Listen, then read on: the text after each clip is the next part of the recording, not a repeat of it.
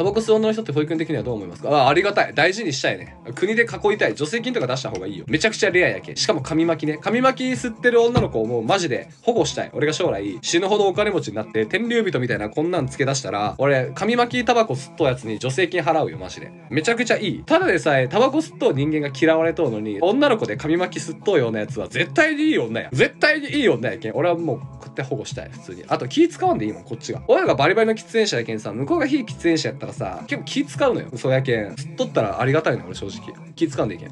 あとまあこれ俺個人的な主観やけどセブンスター吸っと女はマジで可愛い女が多い。めちゃくちゃいい女ばっかやなんでなんやろ？なんであのセブンスター吸っと女ってみんな可愛いんやろ？結構疑問なんやけど。チャンネル登録してねチャンネル登録してね